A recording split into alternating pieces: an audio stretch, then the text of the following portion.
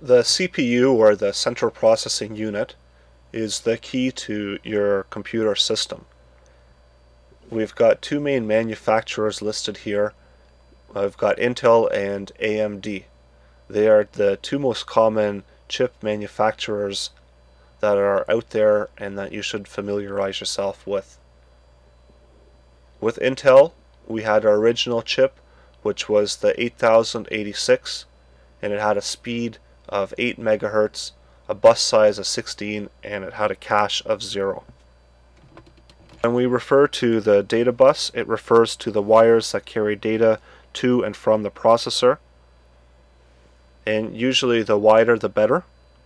When we refer to cache memory, this is um, a high-speed block of SRAM that interacts between the CPU and the system RAM. When we look at the clock speed, this is the rate that the processor executes instructions. Usually the faster the better. And then we have the Intel chips in the front here and the AMD chips uh, just below.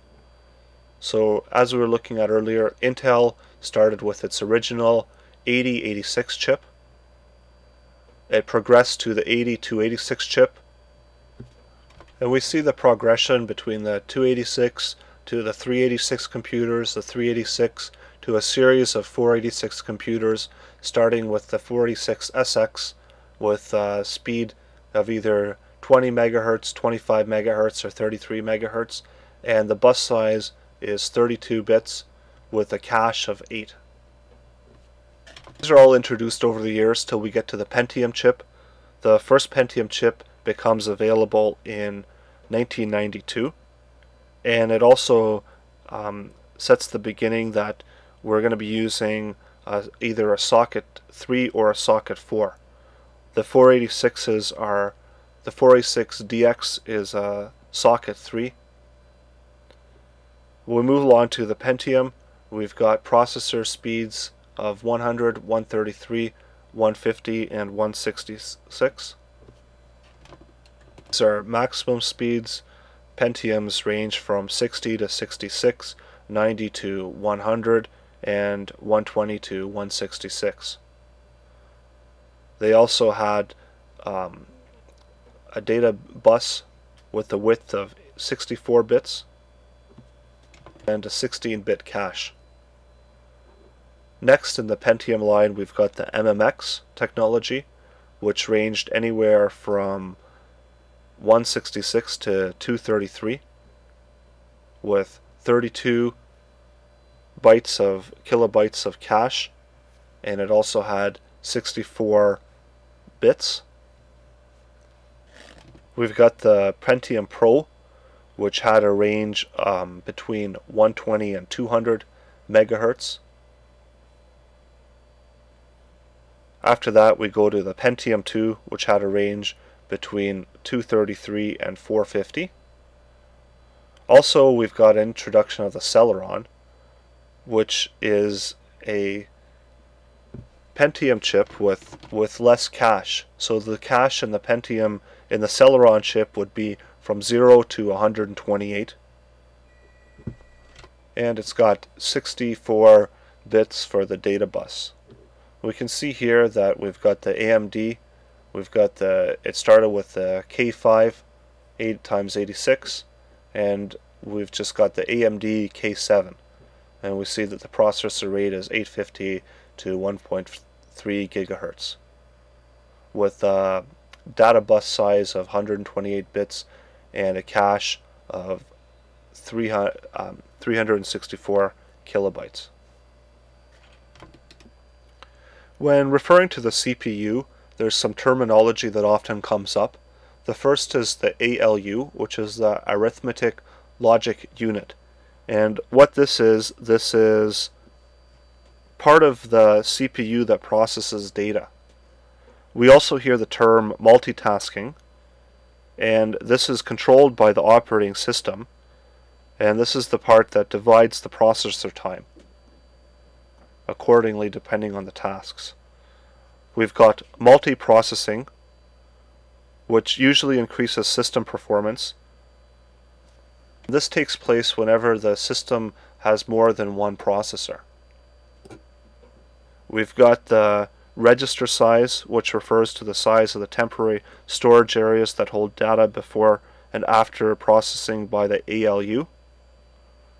We've got real mode, which is the processor mode where addressable memory such as RAM is seen as linear storage local and cannot be divided into sections.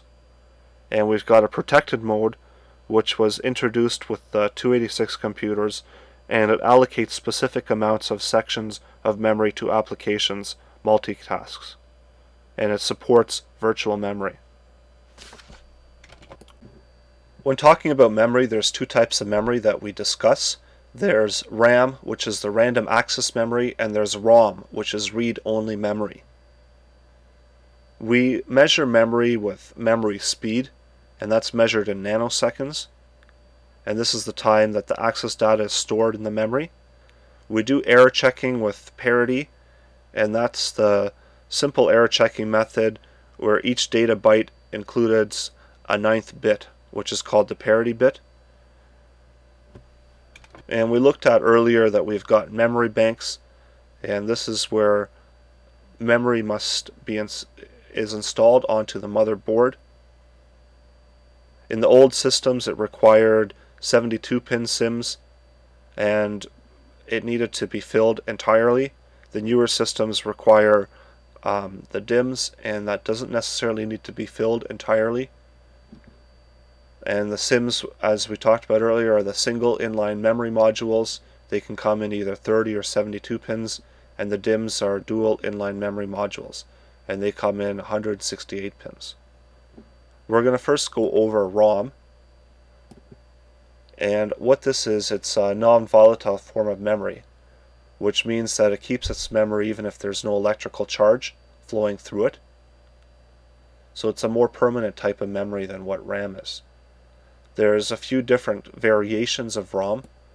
The first one is the PROM, which is programmable read-only memory.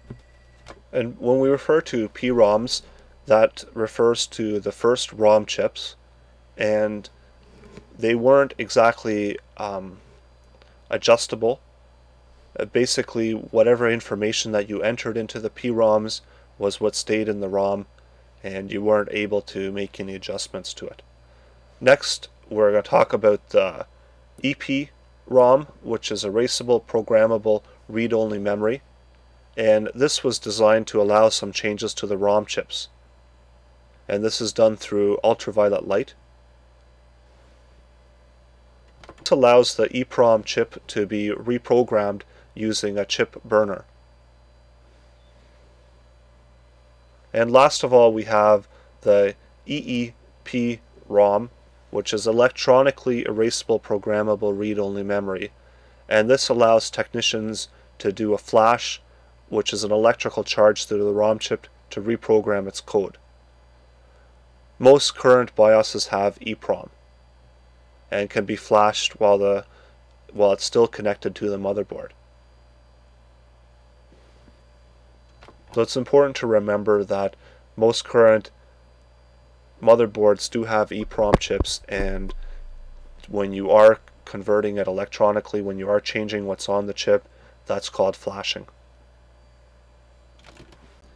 Next we're going to talk about RAM and that's the random access memory and this is volatile as opposed to the ROM which is non-volatile. It's basically used to temporarily store data as long as there's a constant power to the RAM it does have is it is able to store data. We've got a few different kinds of RAM. Most commonly we've got the DRAM and the SRAM. The DRAM is the dynamic RAM and SRAM is static RAM. And there's some video RAM which is VRAM, WRAM, SGRAM. Below we've got a listing of the different types of DRAM and their speeds and the definitions of what the, the short forms mean. The most commonly kind of RAM is using the DRAMs, and we've got um, SDRAMs here also that are form of the DRAM. And we've just got the different variations of the RAM that's available. When we talk about RAM, we also talk about SRAM. And what SRAM is, it's a little bit faster than DRAM. It's actually four times faster than DRAM. It's also larger and more expensive, and it's used for speed critical functions like the cache. So in your cache of your computer system, more than likely it's using a form of SRAM. After that, we've got the VRAM, which is video RAM. And generally, it's um, used on high performance video adapter cards. It's got two data ports where one reads and one writes. After that we've got uh, WRAM which is the Windows RAM and this is um, also dual ported and it's slightly faster than the VRAM. And last of all we've got what's called SGRAM and this is uh, synchronous graphics RAM. It synchronizes with the system clock and it's single ported. When we look at the different memory packages, we've got the DIPs, which are dual inline pin packages, mainly used for um, ROM, for the EEPROM. We've got the SIPs, which are single line pin packages. These are all for, for ROM here. I'm just going to get back to the connectors for ROM. And then we've got the connectors for RAM where we've got the SIMMs and the DIMM. And we've also got one for the um, for laptops, which is mainly typical in laptops, and that's the SODIMM, and that's the small outline DIMM. And this comes in 144 pin configuration.